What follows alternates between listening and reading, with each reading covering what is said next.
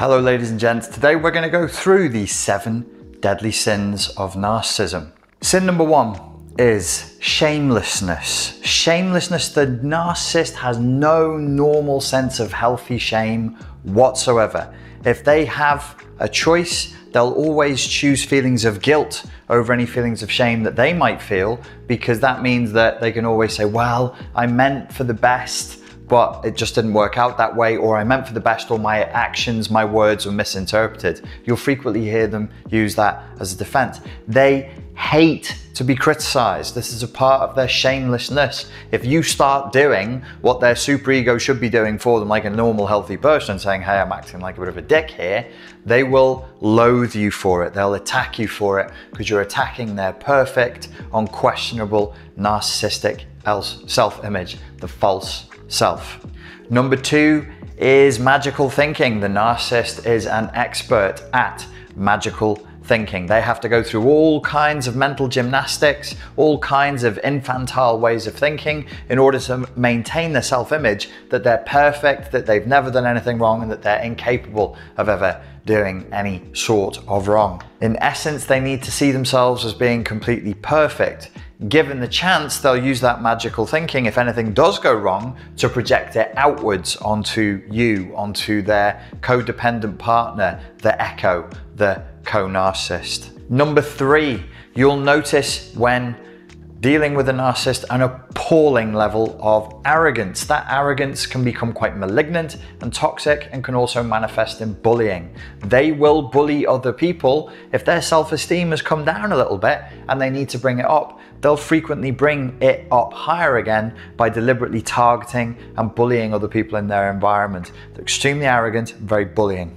Number four, the fourth deadly sin of the narcissist is envy. They envy and hate when other people have achieved more than them. You'll never hear them offering praise when somebody else has done well. They will attack the people who have done well in their environment because they are absolutely green with envy. Number five, the fifth deadly sin is entitlement. You'll see that in the narcissist environment, if you are not on message, if you're not on script, if you're not doing what they want you to do, they will actually see that as an attack. Anybody who doesn't go along with what they want in their entitled fantasy is deemed awkward or difficult or toxic, in fact. Number six is exploitation. All narcissistic relationships are marked by a very, very high level of exploitative behavior, particularly nasty exploitative behavior. They don't do fairness, they don't do horizontal, horizontal transactions, they do do vertical transactions with winners and losers. And guess what? They're the winner, which makes you the not, the, the not winner. And finally, the seventh deadly sin of the narcissist is dreadfully bad boundaries. These people have terrible, terrible boundaries. They cannot tell the difference between you and themselves, and typically they will break the boundary relationship frequently. Their motto is you exist to please me, or you do not exist at all.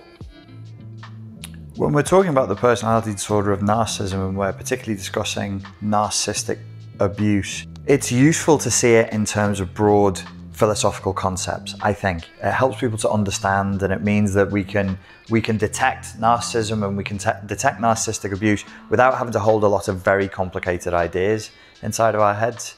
Um, and one of them is a very strong desire to control the narrative control the story control the perception these people are all about artifice. These people are all about the surface. They're only interested in the superficial. They're really only interested in the emotional responses that they can gather from others. This, I think, is the particular permutation of their unique autism spectrum disordered response to life because they weren't given proper love and attention in childhood. They weren't given proper interaction, so they weren't able to develop normal communication skills. I think this could be one of the reasons why a lot of people are very confused between the boundary between autism spectrum disorder and narcissistic personality disorder because though they are different, uh, formed in different environments and manifest in completely different ways, they're absolutely different. Narcissism looks like autism sometimes. Narcissism clones and cloaks itself as autism sometimes. Um, it, I think one of the things that kept me in my last relationship for as long as I did was I spent a lot of that time believing I was with um, a female autist, somebody who was on the autism spectrum, uh, high functioning, but fundamentally just was incapable of grasping certain elements of communication. At one point, I even went down the route of exploring the possibility that she had brain damage. Such was the oddness, creepiness, weirdness, uh, discomfort of living with her and communicating with her on a daily basis.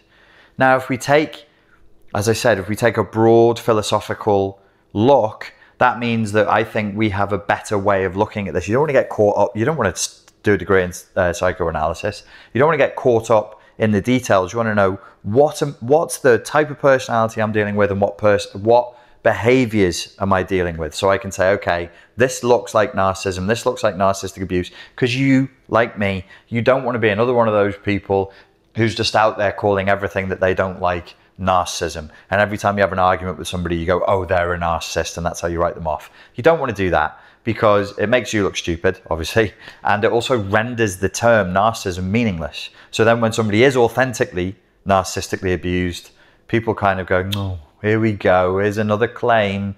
The boy or girl who cried wolf for the 15th millionth time, we're not, we don't want to hear it anymore. So we want to be specific. When it is what it is, we also need to not uh, uh, sort of recoil from that. We need to be able to go, that's what it is, and this is how I know. So a little bit of theory, um, hopefully not too boring, um, but let's look at the formation of the narcissist in childhood. They're only getting, it's not they're getting no attention, it's not they're getting no interaction. So the brain basically, it, it actually does look kind of like a kind of brain damage. The brain doesn't do empathy.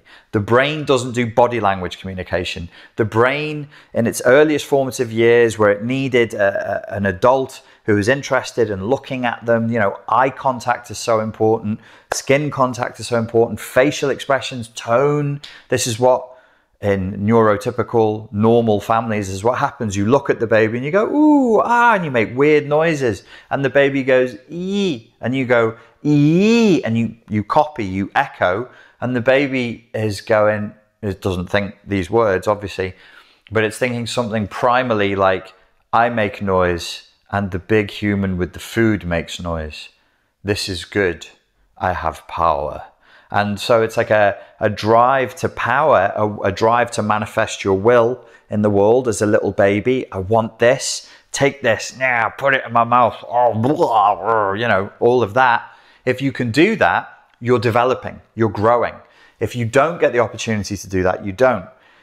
So that's pretty straightforward, right? This is where it gets a little bit uh, more theoretical. Extrapolate that forward then from a baby, literally an infant lying on its back. It can't do anything. It just it need it, it can't even crawl. It's pre eight months old, so it's barely crawling.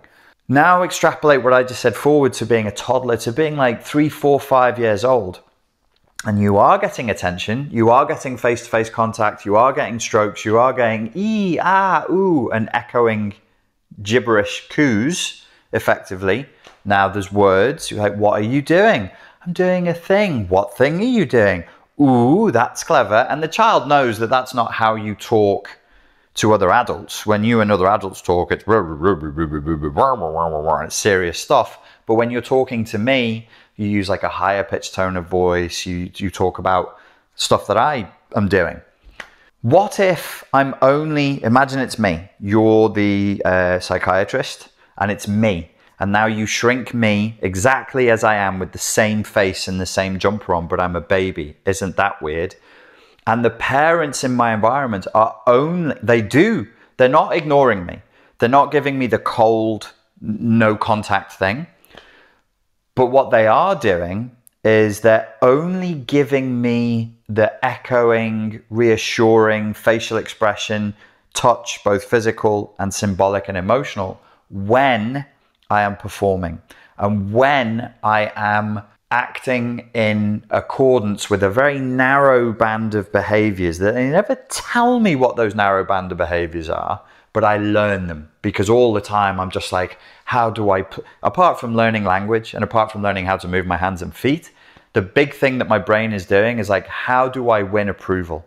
How do I win approval from mummy and daddy? How do I get them to smile? How do I get them to that love that they give me? It feels so good. How do I get more of that? What do I do to, to win more attention, to win more love? So they coerce me passively and implicitly to perform. And when I say perform, I mean it becomes transactional. The narciss- this is my um, my hypothesis. I don't think it's there in the in the research literature, but I don't think it's wild. It's not like I have wild ideas. This is not one of them. I think most people would be like, yeah, that's implied. Most psychologists, psychoanalysts would, would say, yeah, this is implied. So I am only going to receive love in this very uh, love echo, goo gaga, reinforcement, the things I need to grow, to grow my brain when I'm doing a very narrow band of things, which is I need to be performing it can't just me being me. I have to do something. I have to um, be something that is not natural for me to do or be. Me just sat there like a three or four year old doing what three or four year olds do is not gonna is not gonna cut it. So I need parents who are to create narcissistic personality disorder weirdly demanding, strangely indifferent and non-empathic, and only offering they don't ever offer me empathy. They don't ever offer me love Love is not part of the, the protocol, though I may try to, as a child, interpret it as love. I said before, what do I need to do to win my parents' love? That's what I'm thinking about. It's not what they're offering. The parents in this environment, so shrink me back again. I'm a tiny baby with exactly the same face and head, just like big head on a baby body with the same blue jumper. And I'm in that environment and I'm going, how do I win love? And I never win love. What I win is attention and maybe applause. So I start to hardwire my brain when I'm in a very young age, at my most neuroplastic age, to performance and applause. So in a normal family, I'd show up and go, yeah, you know, like little uh, little three, four year olds. If you spent time with them, like little thug pirates, little drunk thug pirates. Like they pick a thing up, throw it on the floor, and if they're happy and, and in elation, they'll like make a stance and go, hoo, hoo, like little, little cavemen and cavewomen. And in a normal environment, they would either not be punished for that or they might get attention for that. They're, like the parents would be like, "Oh, what did you do? Was that a thing that you did? Oh, well done, you little thug." And they'd recognize that. For the narcissist, for me in that environment, I get nothing for those behaviors or punished for those behaviors. And it amounts to the same thing in, in terms of what I'm talking about. If I'm going to grow as a narcissist, I either need to be ignored or punished because they are the same thing to a small toddler. No love is a punishment. Punishment is a punishment. Punishment, at least I got attention. But if there's just if the parents just ignore me for it, that's actually in some respects worse. So I'm going to learn that I have to perform and do and do tricks within a very certain narrow band of behavior to get that attention from them that I interpret as love. It's actually applause. I don't think not because narcissistic personality disorder, all of the long words and the theory and the acronyms and the psychoanalytic, you know, labels are fine and they're necessary. But remember, the myth of Narcissus is a really handsome dude from uh, the state of Sparta uh, uh, looking at himself. He's a he's a in different myths. He's like a he's a hunter in some myths, and in others he's he's the undead. Um, but he's really handsome, and he becomes he becomes enamored with himself and his own reflection, and he becomes cruel, and he hurts the women who pursue him because he's beautiful. And eventually, this gets back to a goddess it gets back to the goddess of love, Aphrodite, and she sends down a manifestation of herself to punish him. And the punishment is you love yourself so much, do you? Okay. After a long day of hunting in the Greek heat, he's thirsty and he arrives at a pool and he reaches down to drink water to satisfy his thirst. And he sees his own reflection in the pool and he becomes totally transfixed by the beautiful being staring back at him. And then he's trapped he's trapped there forever. So the myth has a lot of connotations that there's a kind of mortification, a narcissistic mortification, you're, you're, it's, it's death, basically. The narcissist is not truly alive. They're frozen. They're frozen in time. They're frozen in a moment that goes on forever, a moment of perfect megalo, megalomaniacal, megalomania, megalonomai, megalomaniacal, thank you, megalomaniacal moment. Megalomaniacal in this sense, obviously, if you're a megalomaniac, you want to rule the world. You want to rule the world. You want to be number one. Megalomania um, according to some uh, psychiatric theory, is actually us in the womb because we rule that world. When we're in the womb, the matrix, as, as that's what the word matrix means, is the womb. When we're in the pod and we're in the womb, we rule the world. We're blue pilled. We're living a blue pill, if you like the Matrix movie. We're living uh, Cypher's life, the, the Judas of that story who agrees to going back into the into the pod, back into the matrix to live life as a rock star and to enjoy wonderful things. That's us in the womb. Then we come out of the womb, we're like, hey, everything is saying no to me right now, where everything was yes before. Well, there wasn't even a no or a yes. My needs were satisfied before I even knew I had a need. It was just endless bliss. And now I'm having to deal with this shitty reality. So that's the megalomania that we aspire to. So the um, megalomaniacal state that we're trying to get back to is that of the matrix, is that of the pod, is that of being back inside of mother in utero. For all humans, the narcissist is trapped in the idea that they can maintain that.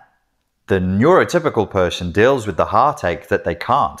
They just go, well, that's just not going to be my life. So that's, and you just deal with it. That's growth. That's individuation, that's humility, that's a sense of humor, that's stoicism. All of these great philosophical traditions come from that moment, the moment of, which is, I, I'm not the king, I'm not God, because you are both king, you're the empress, you're the god, you're the goddess, you're everything. And you are everything in utero. Everything is you. You are everything, and everything is you. Sometimes when people are obsessed with love and they get amorous narcissism, um, and they're try- what they're trying to do is get back to that in utero megalomaniacal state of being the king. You are everything and everything is you. Well, actually, what they're saying is, You are me. I've consumed you. We're in perfect union. Apart from the obvious Freudian sexual overtones of, of trying to return to the womb between a man and a woman, as in the, the act of sex, there is this desire for supreme power the supreme narcissistic elation. That's why I'm very, very suspicious of people who are obsessed with being in loving relationships. There is something fundamentally narcissistic about it. I want a person who will love me forever and ever and ever. Like uh, Galadriel, when we see the dark side of the characters in Lord of the Rings, anybody who comes close to the ring, it brings out the worst of them. It brings out their shadow side. And Galadriel is this beautiful, kind, but strong warrior elf queen until she's close to the ring. And then we see that she's vain. The dark side of her, her unconscious, her shadow side, is vain and tyrannical and bullying and violent. And she wants to take revenge on the world. We all have that in us. We all have that desire in us because, well, the world's disappointing and it's full of disappointing people. And she's, I think she says something like, I'll be as beautiful as the stormy sea, and she manifests as this sort of purely chaotic uh, siren mermaid sea entity. The sea representing in uh, Jungian psychology and dream psychology the emotions, uh, the unconscious, and sexual energy. And she wants to rage like the sea and conquer the world, and all will kneel before me. So we have that megalomania. So the the the good kittens of the world, the good cats, have gone, that's crazy. You can't do that because there's a bunch of other humans here, there's other individuals here. So the neurotypicals, normals, or people who who can espouse a good philosophy of life are going, oh, other people also have needs. Oh, I must wait my turn. Oh, okay. Whereas the narcissists are literally stuck inside their mum. They're stuck in the matrix. Matrix means womb. Do you know the word matrix is used multiple times in the Bible? I only found that out recently. Isn't that interesting? So where does that leave us? It leaves us with an understanding that where we see a child trying to go back to not mummy, he's not going back to mummy as an individual in psychiatric terms, that would be an object, not mummy as primary object. This is pre egoic. This is before you're born. So when we say it's infantile, and you go, yeah, yeah, narcissists are like toddlers, which I've said, and I, I think it's true. I think it, there's an important way in which we can see temper tantrums and stamping of feet and oh, that's mine and you don't take it. No, I want all the toys. Yeah, we see that. And we see infantile, like an infant bawling, just screaming and bawling. I didn't get my own way and I can't form words. I can't negotiate to get it. So, rah, I'm just going to scream. But even even smaller, even younger than that, as a fetus. They're trying to go back to a fetus like state of just pure bliss. I am everything. Everything is me. All my needs are met. And where you see a deviation from that, they get hostile. They get aggressive. They get upset. They get judgmental. They start condemning people. If they have the power to, unfortunately, they'll start killing people trying to regain that balance, trying to regain their sense of to compensate for that that self-esteem has gone down. Oh, you're no longer in the matrix. You're losing control of the matrix. You lose control of the. No, I'll take it back by force. Rah! That's what you see. So hopefully that's given you a, a, new way, a fresh way of looking at this, so you can go, ah, okay, this is truly narcissistic behavior. Because anybody can have a bad day, and just because somebody is vain and selfish doesn't really mean you're dealing with narcissistic personality disorder.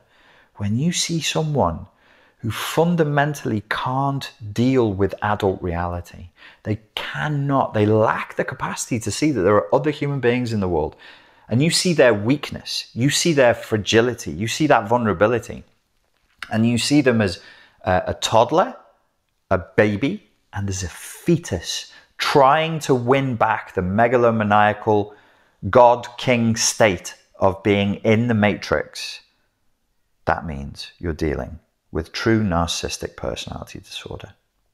Ladies and gentlemen, thank you very much for your time and for your attention. Please do stay very grateful for everything that you have. Cheers.